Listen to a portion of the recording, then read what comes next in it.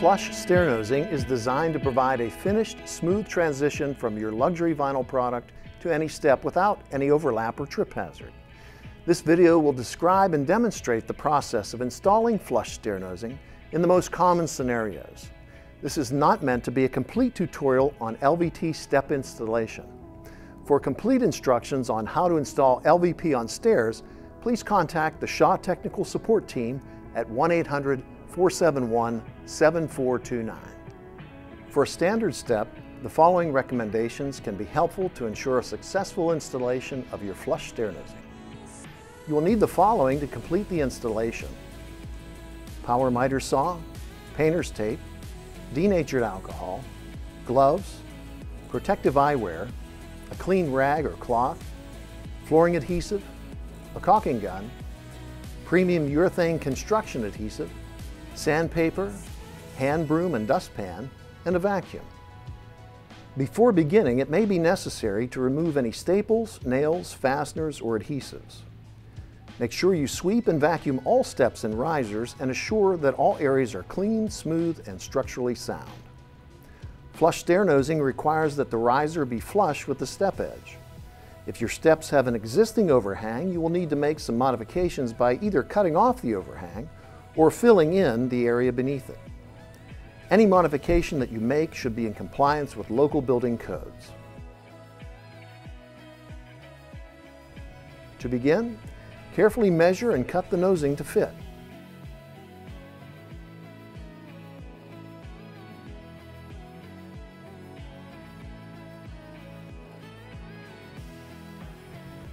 If using riser material, make sure it is either in place or that you use a piece of the riser material as a spacer. After cutting, dry fit the molding to ensure it is sized correctly and place a pencil line on the backside of the nosing. This line will show you where to stop the flooring product installed on the step. If installing many nosings at the same time, it may be helpful to label each accordingly. Next, using the stair nose termination line as a guide, measure and cut the flooring material to fit the step. Make sure that the groove edge of the material is facing the step. Fill in the rest if your step requires more than one plank. When cut, dry fit the entire assembly to ensure good fit and make any adjustments that may be necessary.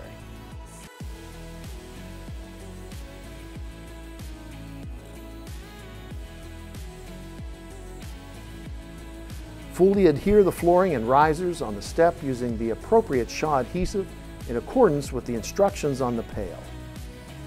With the riser and step fully and permanently in place, you're now ready to install the flush stair nosing.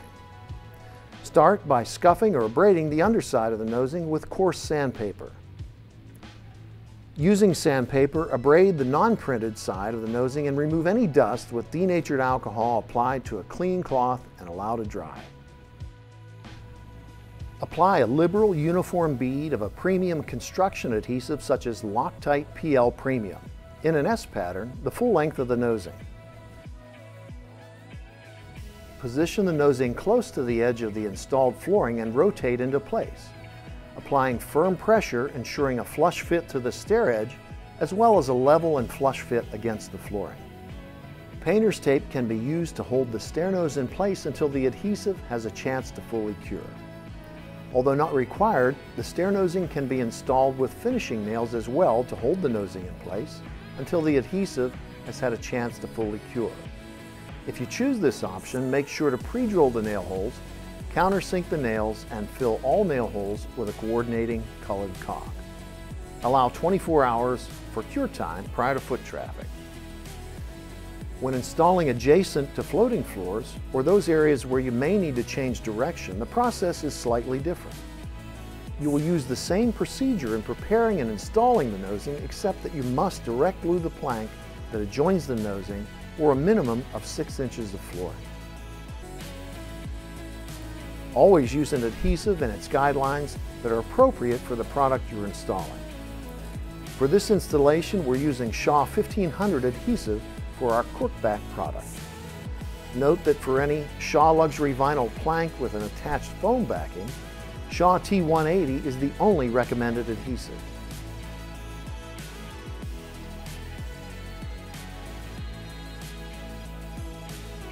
Use painter's tape to secure the nosing and finishing nails if desired as previously explained.